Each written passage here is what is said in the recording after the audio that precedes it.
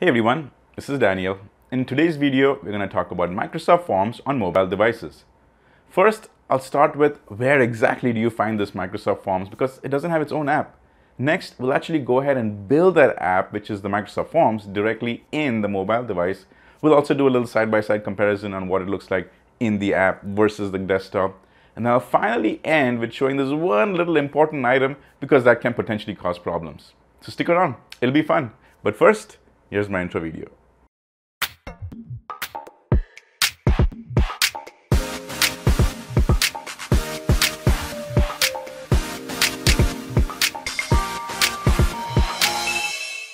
So let's get started. Now what I have over here is my iPhone, which is a smartphone device. And I'll be doing my, all my demos over here, at least for the next few minutes through this. And now I'll go ahead and share that screen so you can see exactly what's happening. So the first thing you need to be aware of is that there is no app for Microsoft Forms. It all falls under the Office app. So as you can see, I'm sharing on my screen over here, the app which is on the bottom right, which says Office, that's the app that you use to go ahead and build your Microsoft Forms on mobile device. So I'm going to go and click on that app. And once you get in, once you're authenticated and everything is in, this is basically your home screen, the home screen which is on the bottom left. And basically that's what it shows. So now from here, if you want to go ahead and access Microsoft Forms, there's two ways to do that. You can actually click on that big plus button, which is on the bottom, at the center of the bottom. If you go and click on it, it has this nice you know, pop-up menu on the bottom. And as you can see on the bottom right, it's Forms. So I can go and click on Forms. So that's first one way to do it, right? I'm going to tap away from that. On the bottom right, there's also a menu option called Actions. If I click on Actions, right over there you get more actions on the bottom. And over there right inside the more actions uh, actions list second from the top it says create a form. So i'll go and click on create a form.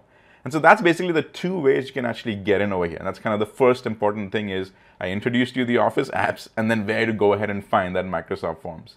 All right cool. Let's keep continuing. Right now we are here. We're going to go ahead and build our app and we'll go and actually take a look at these features that are available so the first thing I'll do is I'll go ahead and pro provide a title. And as you can see, it gives you almost that same functionality as you have available on the desktop side. So over there, I'll go ahead and now change the untitled form and I'll say my live demo one. And I'll leave the description as is. And now, even though I hit done, which is that done actually came from the mobile device operating system, what I gotta do is I gotta hit that checkbox, which is on the top right. So now that I do it, my title of the form is ready and now I can start adding all those other fields over there. So the first thing I'm going to do is I'm going to go ahead and click on the bottom. It says plus add question. And when I do that, I get these four options available. Now this again is very similar to what we have on the desktop side. On the desktop side, the only difference is that over there, we get a flexibility to have the ellipses and add more options. And I'll show you that in a minute. But over here, let's go and add all of these four of them step by step so you can actually see what it looks like. So the first one I'm going to do is I'm going to click on choice. Again, this is something we're very familiar with. In the question, I'm going to actually ask a question, is that how are you feeling today? All right, and I'll put some options over there. I'll say great. I'll say okay. And then I can also go ahead and add another option and I'll just say meh, right? And I wish over here there was other flexibilities and I'll talk more about that. First flexibility is I cannot add any subsection over there, the subtitle or the sub description. All I can do is ask the questions and that's it. I can't put anything else as further description. In the desktop side, there is that functionality where on the top right, uh, you know, see how you're feeling today, right next to it, there'll be an ellipsis. I can click on it. I can go ahead and add the subsections. I can't do that over here. So that's very important tidbit to notice. But we'll keep continuing. Right. So on the bottom now, scroll down, you've got these two important options. You can go and say required, which means that if somebody is filling out this form, it is absolutely required to go ahead and fill out this question. Otherwise, you can't hit that submit button. And then from here, you can go ahead and say, is this going to be a single option or is it going to be a multiple option, which in this case, it says multiple answers. So watch, right now, as you can see, there is only these three um, you know, circles over there. But if I were to go and say multiple answers, those circles change into dots. Means telling the end user just by visually that, hey, you can actually have multiple selections over there. But just based on this question, it just makes more sense that I have it as a single selection. So I'll go and set that, right? So we're gonna done over here. Now, again, to finish building this question, you gotta click on the checkbox on the top right. So we're done over here. Next, let's go and add another question and put on text. In the questions, I'll go ahead and say, what did you have for breakfast, right? And here I've got those two options again. I can go and say, is it required? Which I'm going to say yes. And then I can also say long answer. Long answer is also more of a visual representation for the users because when you have it the toggled off, you can see that enter your answer just shows as a single line. But if I go and put in as a long answer, it actually expands the height of that, which tells the user that, hey, you have the option to go ahead and put in a long answer. Now, also notice that if just because it is a long answer doesn't mean the users actually have to put a long answer, they can still put in a single line over there. But it just gives that user, user that visual representation that, oh, I do have the option to put in a long answer. So we got it done with the single line or the text. Now I'll go to the rating. Now in the rating, we actually have one more option over here, which is the symbols. So in the question, I'll say again, how are you feeling today? All right, I'm gonna go ahead and add the same thing. Over here, right below it, you see you've given these stars. In the stars, I can actually change the stars to number and I can put it in as one, two, three, four, five. Next, I can also go and say, is this a required question? Which I say, yes, it is a required one, but you have to have an answer. And then after that, you've got these options to go ahead and either put in from 1 to 5, or you can go ahead and put in from 1 to 10. I'm going to put in the 1 to 10 just so you can see, even though we have such minimum real estate on the width, it still fills up those 10 really well. Now, I really wish that subtitle feature was available over here because I want a way to tell the users that, hey, one is negative and 10 is positive. Because think about it, how are you feeling today? When a user comes and says, well, is one feeling positive or is 10 feeling positive? What is it? And I really, really wish there was an option to put in that subsection. So as a workaround in your question itself, you can go ahead and put in these double brackets and you can just feed in that information over there. So that's your workaround. All right, let's go and pick the last one, which is the date. Now date, very simple, right? You can go ahead and just select the date and all you have basically is one option. Is it a required one? And for the date, I'll just go and say today's date, right? So I'll again go and click on the, the check on the top right. And now we are done with our app. So what we can do is in order for me to go ahead and share this app or this form, I have to go ahead and hit that arrow on the top right. And then these functionalities, again, is very similar to what we have on the desktop side. On the desktop side, we have, you know, send and collect responses, but then you have these options. So only people in my organization can respond. If I check on that, it gives me these other options which you and I are very familiar with because it's available on the desktop side. First one on the top, anyone can respond. Then there's also the option that only people or organization can respond. What is the record name? You know, only one response per person, all of that. Now in the desktop, there are a little bit more options available over there as far as what is the start time, end time, so on and so forth. Those are all over there, which doesn't really come with this. But all said and done, we went ahead and built a quick form without any computer access, all from our mobile device. And that's pretty sweet. So what we'll do now is we'll go ahead and look at it from a desktop side and we'll actually do a little side-by-side -side comparison of what it is. We'll try to rebuild these exact same three questions or uh, four questions and we'll just see what those, those functionalities over there. So now I've logged into my desktop and I've logged in as the exact same user in the exact same tenant. And here is the home page, which is my office.com. Now on the top left, when I go and click on the waffle icon or the waffle menu, I see forms over here. So in this case, the difference is you actually have a place to go and select forms. Remember, in the mobile device, you have to go through the Office apps. Now, when I go and click on Office Forms, immediately you can see the new ones that we've built over here. So this is the live demo. If I, that live demo one, that's the one we just built. Now, remember over here, you got to go to all my forms and in your all of my forms, that's actually the ones that users created. And this is that form. And if you click on it, it basically displays it as that form over here. All right. So that's basically it. Nothing big, nothing fancy.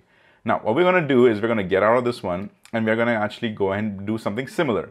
So I'll go and click on plus new form. In my plus new form, all of this was the exact same. So I'm going to now say live demo one. But you see, the description also was available in the live demo form. But we didn't have all of this flexibility of theming and, uh, and you know, adding just a theme directly for each and every question insert. We didn't have all of that. But let's keep continuing. In the desktop one, over here, you have the same functionalities that we just saw. Choice, text, rating, date, those are all there. But you see this drop down? This drop down gives you these additional functionalities which did not come directly on the mobile side. So that's something very important to notice. Now let's go and at least try to replicate a few of them. So in that first one, I had said, how are you feeling today? Now in my how are you feeling today, I had basically put in three options. See over here, in fact, I like these three options. I'm gonna go and add them all. Now, when I did all of this, I wasn't able to see all of this functionality to move it up and down and all of this. So basically the UI effect is a lot more better on the desktop side, but all said and done, we are still able to do all of this on the mobile app as well. Here's the other thing though, is that ellipses on the bottom right for more settings, this is the one that I was saying, subtitle. This subtitle was not available directly in the mobile app. And that's the one scenario where I remember we had gone in and put in how are you feeling today? from 1 to 10 we the subtitle would have been so helpful to say that one's a little eh, and 10 is like great you know i wish we'd have done something like that. But that's just you know something to think about. But all these other ones which is required multiple answers all of them were the exact same and then let me just add another one which was the text one the text one was again you know uh, what uh, did you eat breakfast that one again same uh, differences over here was that you have the ability to add the subtitle over here, you don't have that in the mobile app, but in the in the answer itself, this is the exact same. You've got the ability to go and do the long answer. You've got the ability over here to do the required one. See, there's a pop-up that came up over here is that branching option. Remember, branching option. Basically, there's three toggle switches or, or the uh, the ellipses or the three buttons uh, were just not available over here at all, which means you can't go ahead and add a subtitle or you can't even do in branching in the mobile side. So the other two are the exact same. The rating, the date, they are the exact same. And just remember that these options were not available. So now let's actually go and take a look at from the share side. In the share side, this was the exact same, is the ability to go ahead and add anyone can respond, only people, specific people, all of this was the exact same. What we didn't have is the settings functionality. See, in the settings functionality, these options were not available on the mobile side. So that's something also to keep in mind that when you want to go ahead and build with these type of options, you want to go and do it on the desktop side. Now I want to pause over here and kind of tell you from my perspective, how would I use this? Now imagine if I am actually traveling, all right, and I don't have the ability to go ahead and open up my desktop, I can actually start building the form and build a really good one, at least with all the questions directly added in, directly from my mobile side. I can go and do all of that because that's exactly what we just did. I was able to go ahead and build all of it add all the questions, let all those thoughts which are flowing through my mind in that point, go ahead and build that form directly from your mobile app, which is what we did right here. Then you can come in to the from, from the desktop side and start adding all these other nice bells and whistles and branching and all of that. So that's just how I would go ahead and approach this, the use of the mobile apps. Keep in mind, if you still want to build a full mobile um, form, uh, which is very simple. You know, just that scenario. Four questions, nothing fancy, something to send out immediately. For example, you know, you're going to go ahead and pick up lunch for your team. You want a simple form like, hey, what do you want me to pick up? Perfect example for that. Nothing fancy, just telling your teammates, I'm picking up food. What do you want? Kind of a great example over there. All right, so let's get back into the mobile device side and look at how we're going to edit it. Now, the first thing that I get asked is that, Daniel, how do I even find my form? Because in this scenario, it was great. You actually went in and did it like right now, which is why you see it on today. You see those two forms. Do you have any advice on how I can find just my forms? Because remember, I'm using the Office app. It's showing me everything I have over there. And that's, that's such a good question. So here's the trick that I follow. You see on the top right, you have these two icons. One is the folder icon and the other one is the filter.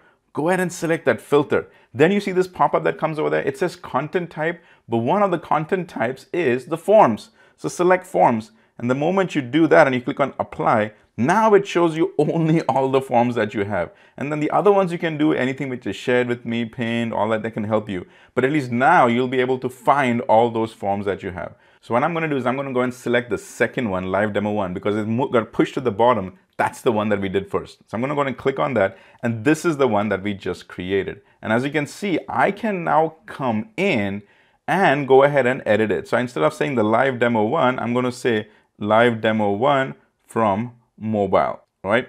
And I'll go and do that. Way I can actually understand what are the two differences between the live demo one. And then I can also come back in and I can go and make some changes. Like in this question we had had, I want to go ahead and actually remove some of this other stuff.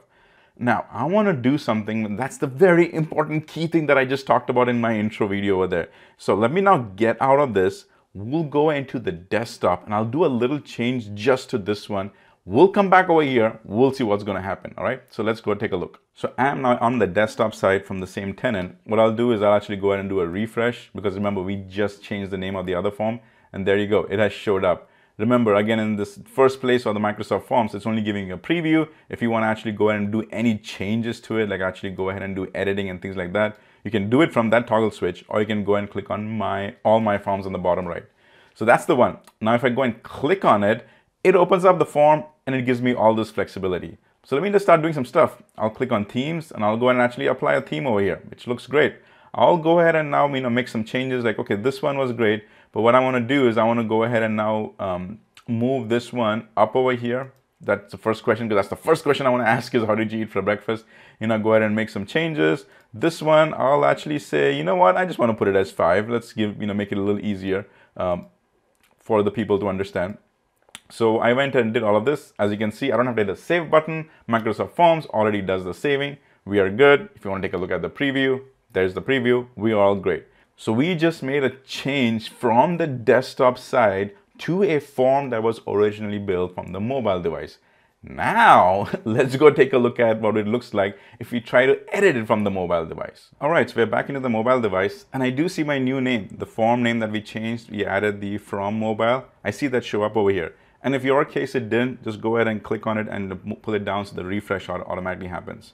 So now we'll actually go and click on it. All right, so remember, this is the one that we went ahead and also made changes on the desktop side. However, it was originally made on the mobile device. So Microsoft Forms remembers that, all right? So if I were to go and click on it, it is still allowing me to make any changes. I mean, in fact, it doesn't show me all the design. Remember that template that we selected, the office template? I'm not seeing it over here. However, remember we went ahead and moved that question, which is, you know, um, what did you have for breakfast? Was the second question. We went and bumped it up to the top. That shows up over here. Also, remember how are you feeling today? It was originally 10 when we built it from the mobile app, bumped it to 5, I mean, brought it down to 5 in the desktop. Now we can be able to see over here. Plus, I'm able to go ahead and add more questions and so on and so forth. So this flexibility is still there. And this is what I like, is that I can keep going back and forth between the desktop and the mobile app and it works. However, now let's go and take a look at this live demo one, the one you see at the bottom. That's the one that we started to build from the desktop side. So if I'm going to click on live demo one, eh, on the top it comes and says to edit this form, open it in Microsoft Forms on your PC or Mac. So honestly, this is great because it remembers what was the birthplace of this form. And that's a really important feature for you to understand is that don't, and so don't start planning in the wrong way. Like, you know, oh, I'm going to go and start building this on my desktop. And then while I'm traveling, I'll finish this up on the mobile device. No, it doesn't work that way. It's the other one is I'll start building it on my mobile app. Then I'll start finishing it on my desktop and I can go back and forth as well. That is the most important item that I wanted to share with you guys today. So hopefully you found this video helpful as we deep dive a little bit on how to build Microsoft Forms on mobile devices. And that key, key takeaway is that the birthplace of the Microsoft Form is very important. So if you plan to use this as a form or even modify it while you're traveling on the road, then make sure that you start building it from the mobile app. That way you've got the flexibility. So hopefully this was helpful. And as always, keep using Microsoft Forms. Hey everyone, hopefully you found this video useful. And if you did, can you help me help you? Can you subscribe to this YouTube channel? Because remember, I provide fresh content on a weekly basis and it's 100% free. So if you have subscribed, thank you so much and pass the word. But if you haven't, subscribe, click on the bell notification and let the learning begin.